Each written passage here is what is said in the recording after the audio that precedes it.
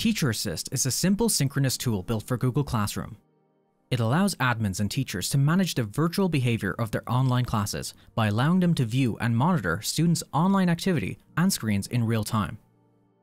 In this overview, we'll be covering the different areas of Teacher Assist to help familiarize yourself with the tool.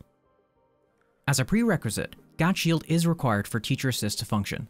Please ensure you have deployed GAT Shield before accessing Teacher Assist. Students must also be signed into the Google Classroom using their Google Workspace accounts and have Shield deployed on their device or browser. Teacher Assist can only be used by Google Classroom teachers and admins of the domain. However, school principals can also be granted access. You can access Teacher Assist from any other GAT Labs tool by using the drop-down menu. On the left panel, you will see sections for teachers, principals, admins, and the help section if you need assistance. We'll start off with teachers. Here we have the dashboard. The dashboard will show a list of all the last sessions on the left, and the last session details on the right. In the last session list, we can view the name and date of each session.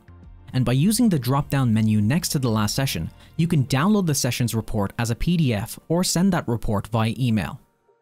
When sending the report via email, you can add a message and attach any screenshots if the report includes them. Screenshots can be taken by the teacher during a live session, which we will showcase later in the video. Next we can show the attendance list. In the attendance list, you can also download or email individual reports for each student. You can also include screenshots as part of that report. And below that, we can show the screenshots list. And finally, we have the site access control history. This will log any sites that have been either allowed or blocked by the teacher during the session. For example, if the teacher would like their students to access a website that may be blocked by GAT Shield, they can override that rule and that would be logged here. The Courses card view is where the teacher has access to all of their courses, Google Classrooms, and TA groups in one place. Teacher Assist will automatically show your Google Classrooms. However, if you do not use Google Classroom, you can create a Teacher Assist group that can be used instead. We'll be going over how to create a group in a moment. By default, only active courses are shown. You can switch to view all courses by selecting the toggle here. You can also filter by Teacher Assist groups, which you can create, export or import with these options.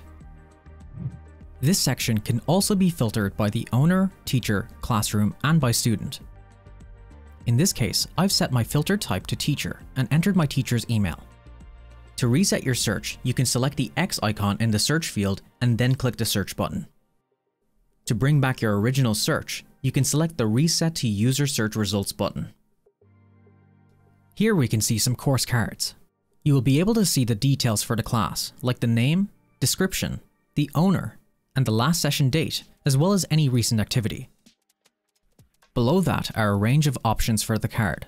You can view the absence notes if any are available, refresh the memberships of the classrooms, edit the classroom settings, and the Classroom Insights button, which will take you to the Classroom Insights section for this course card. Finally, you can start a virtual teaching class by clicking Start Session. We'll be showcasing how this session will appear for teachers after covering the admin section. You can also go to this time in the video if you want to skip ahead. To create a group, select the option at the top. When creating a group, you can give it a name, description, and owner. You can also add teachers and students to this group.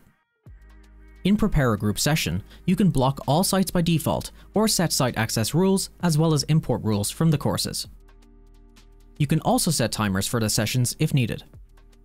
In Site Collections, you can create a collection of websites that you can access or have loaded for all users at the start of the session. You can also import any you have already made from a course. Next we have YouTube Control. This feature will allow you to set or remove restrictions on the content your students will have access to on YouTube you'll be able to block or allow categories, YouTube channels, and videos, as well as the option to block keywords. There may be cases where some blocked YouTube videos or channels may need to be unblocked during a class. If the admin of the domain has enabled Prevent Override by Session in their YouTube section, then the teacher will be unable to unblock content. If the setting is disabled, the teacher may override that block by providing the channel or video URL and allowing access. Next we have the Classroom Insights section. Please note, Google restricts the number of classwork scans, which can cause some information to be missing. To update the information presented here, your super admin can request a manual scan. This can be done from the Classwork tab in the Classroom section of GAT+. Here we can search for a specific classroom or use the Classroom Insights button we mentioned on the course card. For this example, I'll search for one of our classrooms using its name. Once the class is selected, Insights will display both teacher and student scopes. Teachers can navigate through these insights using the following tabs. The People tab will show the people involved in this class, and whether they are teachers or students. The Classworks tab will show a summary of classwork submissions as well as average scores. The Grades tab will show grades corresponding to each student for each classwork. Browsing activity will show a historical view for each student. You'll be able to see the websites they have visited as well as the time they spent on each website. You'll also see a pie chart encapsulating the data. This data can also be filtered for any specific day. And finally, we have the Site Access Control History, which contains a historical log of the site access control rules being applied or removed during the session. Please note that this data is only kept for 30 days. The attendance report will, as the name implies, provide a report for admins and teachers on the attendance of their classes. You have the option to filter by teacher, classroom, or group, and also select a time range. In this example, I've searched for a specific teacher, and for the time range, I'll select the last five sessions. Students who did not attend the class will receive a red marker, while students who did attend but for a short period will receive a yellow marker. Green markers are given to students who attended most of the session, Using the buttons on the right, you can export any of the results you see here to a PDF. The Settings section will display the user information of the current admin or teacher viewing the section. Course settings allow you to change the appearance of course cards from the default card view to a list view that separates the courses into two sections, classrooms and teacher assist groups. Session settings allow you to enable or disable various options, such as whether or not to play a sound for chat messages, whether or not to show a student left message during live sessions, and also if screenshots taken during the session should be automatically uploaded to the teacher's drive. And finally, with the report settings, you can enable the option to send a report for the session automatically once it has concluded. The Principal section is accessible to school principals. To enable the Principal feature, you will need to use the Access Rights area of the Administration section we recommend viewing our guide on our knowledge base or viewing our YouTube how-to, both of which can be found in the description of this video. The reports area shows a historical view of all the courses that were conducted in Teacher Assist, both classroom and Teacher Assist groups. The attendance report area will allow the principal to access the same reports we saw in the teacher section. The live classes area allows the principal to observe any active course sessions in real time. The administration area within the admin section contains five separate tabs. In the general tab, you can set a default timer for all classes. By enabling timer is visible, you can allow teachers to set their own timer during the start of a live session. Sessions contains a log of all previous live sessions. The logs can be filtered by session name, teacher emails, the date, by when the session started or ended, and its status. Time limits allow you to set a time limit for Teacher Assist for any days or hours. Access rights allow you to enable or disable access rights for a designated scope, such as all users, one user, a group of users, or an org unit. For the area, you can select all, creating and editing groups, editing groups only, access to student drives, viewing student drives, teacher rights, access to reports, and access to Teacher Assist as a principal. For action logs, you can view a record of activities conducted in the Teacher Assist tool. Next we have the YouTube area. The Base Settings tab will allow an admin to set age restrictions and restrictive mode. They can also prevent teachers from overriding any global settings during a session. The following tabs for category, channel, video, and keywords allow the admin to block or allow content. Each category provides options to prevent students from accessing content.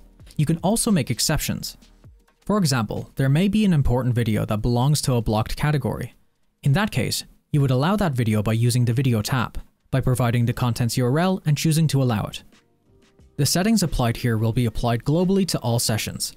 If you allow your teachers to override global settings, they can have the discretion to allow certain content that may be blocked if and when needed. We'll now be showcasing a live session. When a teacher wants to begin a class, they can start a session. This will launch the virtual classroom dashboard. If the admin has set the timer to be visible in their section, you will be prompted to set a timer at the start of a live session. In the top row, you can find various options. From here, you can exit your session, ending the class. Please note that you must ensure you click this exit session button at the end of your class, otherwise students may remain locked in your classroom. The next option will open the chat window, allowing you to start a conversation with a student or co-teacher. Lock tab will lock all current tabs for all students, preventing them from switching to another tab. The next option will show a search panel to quickly find any student in the class. Display options will allow you to set your preferred view options, such as how many user cards to display per row, whether to set the preview type to active cards or statistics, and sort student cards by email address, first name, or last name.